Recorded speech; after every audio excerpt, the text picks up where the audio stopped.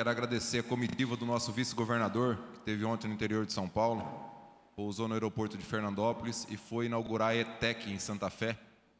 É um dos sonhos da, do município. Agradecer ao prefeito municipal pelo convite, qual eu tive presente, deputado Itamar Borges, que também é uma das pessoas que lutaram muito para que inaugurasse a ETEC, e depois fomos até o Lar São Francisco, do Freia, onde o vice-governador é o responsável hoje é, determinado pelo nosso governador de resolver a situação dos moradores de rua.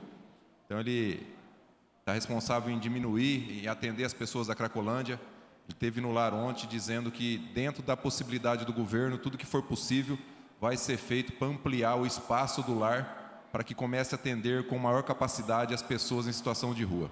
Agradeço novamente ao nosso nosso governador Tarcísio por ter empenhado o nosso vice-governador, por sinal do nosso partido, do PSD, por estar nessa missão aí de tentar melhorar a situação da população de rua, que acredito que todos aqui devem ser cobrados constantemente do fluxo de morador de rua que aumenta na nossa cidade constantemente. Então tem, feito um, tem sido feito um trabalho onde as casas estão sendo ampliado o número de vagas para que essas pessoas em situação de rua possam ser atendidas.